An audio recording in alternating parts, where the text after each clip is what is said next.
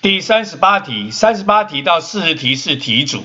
右图是阿若从科技杂志上查阅到一百公克的某物质加热时间与温度的关系图，是回答下列三十八到四十题。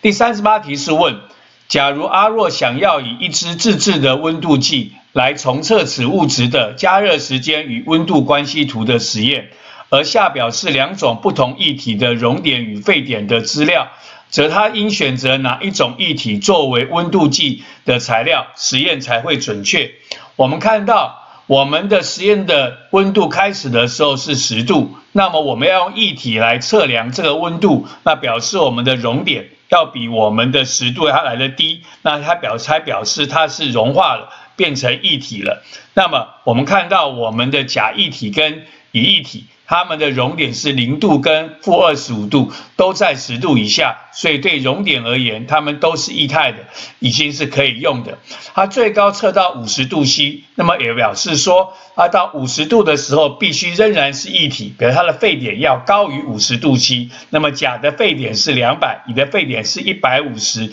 也都高于五十度 C，所以对沸点而言，这也是可以用的。也就是说，甲乙两个液体都能够在实验过程中中。保持液态的状态，透过液态的热胀冷缩来测量温度，所以两者都可用。第三十八题问我们说，要用哪一种液体来做温度计的材料实验才会准确？我们答案选的是 C，两者皆可。